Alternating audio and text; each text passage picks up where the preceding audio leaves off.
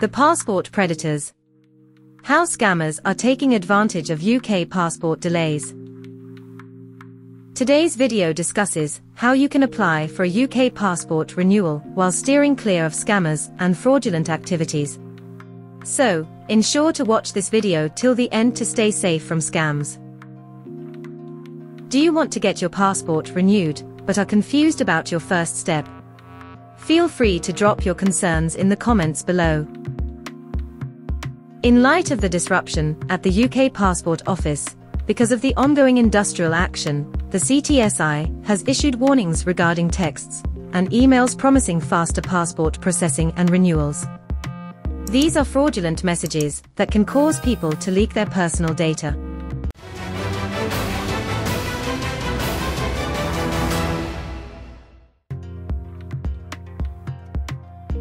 It should be noted that the cost of an adult passport renewal is £82.50 for online applications and £93 for paper forms. On the other hand, passport renewals for children under 16 cost £53 and 50 pence for online applications and £64 by post. The wait time for an adult passport renewal is currently up to 10 weeks. So you will receive your travel document by the end of June if you submit your application today. People are advised to check the expiration dates of their passports and plan for any necessary renewals by considering their travel plans. People who need their passports urgently and cannot wait for 10 weeks have two options, but they are both very costly. The first option you can opt for is the one-week fast-track application service which can help you receive your new passport in a week following an in-person appointment at a passport office. Going for an adult passport renewal through this service will cost you £155. But in the case of a child's passport renewal, you will have to pay £126. The second option is the online premium service, which is only for adult passport renewals and costs £193.50. As far as the delivery time is concerned, you will receive your new passport at the appointment. However, there is a high demand for both of these services due to the ongoing strikes.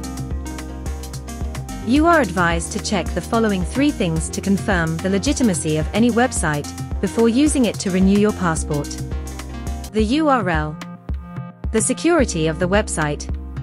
User or customer reviews for the website. This is how you can steer clear of any fraudulent activities and scams. Plus, always use the official website of the government to renew your passport.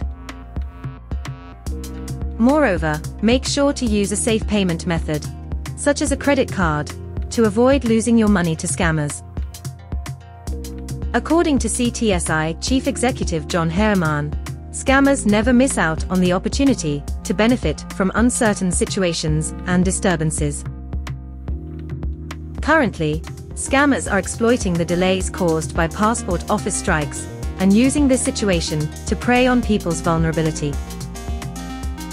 Everyone works hard to save enough money for the holidays every year, but scammers don't think twice before stealing people's earnings.